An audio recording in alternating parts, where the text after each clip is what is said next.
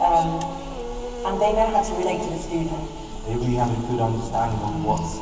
going on in the mind of a, of a young Muslim growing up in the amount of knowledge, the amount of experience you get of course